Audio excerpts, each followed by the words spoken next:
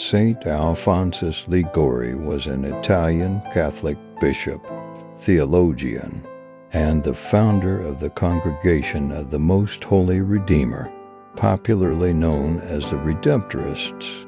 He was born on September 27, 1696, in Marianella, near Naples, Italy.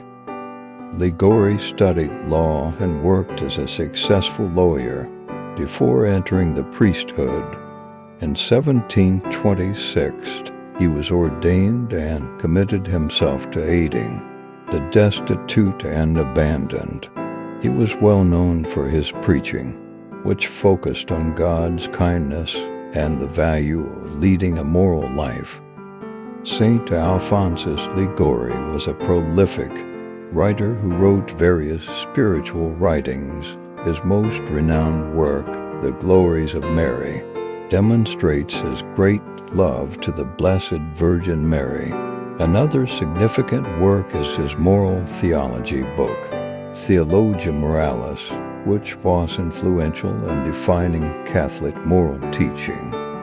In 1732, he established the Redemptorists, a Catholic order.